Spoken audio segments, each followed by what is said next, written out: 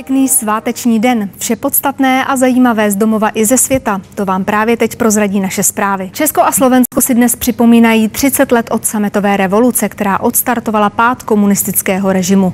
Premiér Andrej Babiš společně se zástupci V4 otevřou dnes dopoledne výstavu v Národním muzeu. Později je čeká oběd v Kramářově vile. Na letné se uskutečnila demonstrace proti Andreji Babišovi, který dostal od milionu chvilek ultimátum. Má se buď vzdát Agrofertu a médií a odvolat odvolat ministrině spravedlnosti Benešovou nebo odstoupit z funkce. Izraelské úřady vydali spojeným státům Rusa Alexeje Burkova, který byl v roce 2015 zadržen v Tel Avivu při pokusu o vycestování z Izraele. Podle amerických vyšetřovatelů je Burkov prokazatelně zapleten do hackerských útoků a dalších kybernetických zločinů. O jeho vydání požádalo i Rusko. 29-letý Burkov podle Washingtonu na síti ukradl data z kreditních karet asi 150 tisíc Američanů, která pak prodal se ziskem kolem 20 milionů dolarů, tedy asi 460 milionů korun. Sám jakékoliv provinění popírá a označuje se za bezpečnostního experta. Během vyšetřování o jeho vydání požádala i Moskva. Podle izraelských médií ale žádost podložila jen chabými argumenty. Úřady v australských státech Queensland a Nový Jižní Wales vyhlásili kvůli lesním požárům stav ohrožení a nařídili evakuace. Východ země se chystá na katastrofální podmínky pro šíření požárů. Už během víkendu požáry lesního porostu v Novém Jižním Walesu a Queenslandu zabili tři lidi a zničili více než 150 domů. Požáry lesního porostu jsou v Austrálii v letním období obvyklé, ale ty nynější, které propukly dlouho před vrcholem léta, mnohé lidi překvapily. Soudce Pražského vrchního soudu soudu Ivan Elišer, jenž čelí obžalobě ze zmanipulování odvolacích řízení a přijímání úplatků, podal trestní oznámení na Senát Pražského městského soudu, který se jeho kauzou zabývá. Tvrdí, že ho jeho členové v září nezákonně poslali do vazby. Soudce Elišer podle obžaloby lustroval pro dalšího obžalovaného Hunga, pachatele z řad Větnamců v neveřejných rejstřících.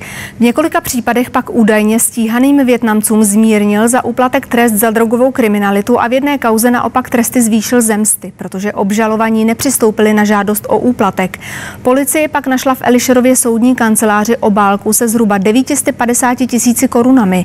Elišer vinu popírá. Při útoku neznámých střelců ve švédském Malmé zemřel 15-letý chlapec. Další teenager je ve vážném stavu v nemocnici. Útočníci stříleli krátce poté, co v jiné části města vybuchla nálož. Policie oba případy i jejich případnou souvislost vyšetřuje.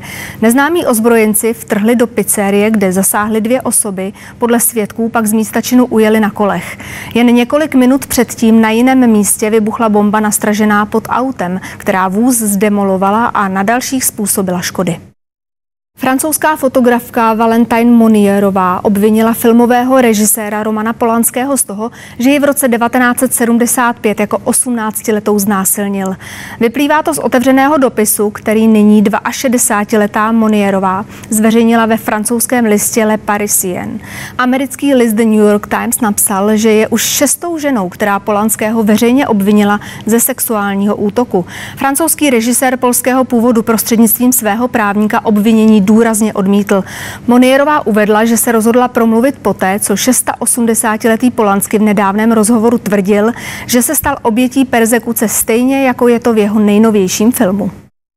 Česká firma Pol Oil bude dodávat svou technologii Optimus na výrobu oleje z plastového odpadu do Velké Británie. Její mateřská společnost obdržela povolení na provoz čtyř zařízení v Norfolku na východu země. Během dvou let by podle něj společnost chtěla v Británii spustit až 70 podobných zařízení, které denně přemění zhruba 70 tun plastového odpadu na 70 tisíc litrů oleje, které budou odebírat tamní petrochemické závody. Realizační náklady projektu jsou přibližně přibližně 32 milionů liber, tedy asi 950 milionů korun. A jsme na konci našich zpráv, tak hezký den a brzy opět na viděnou.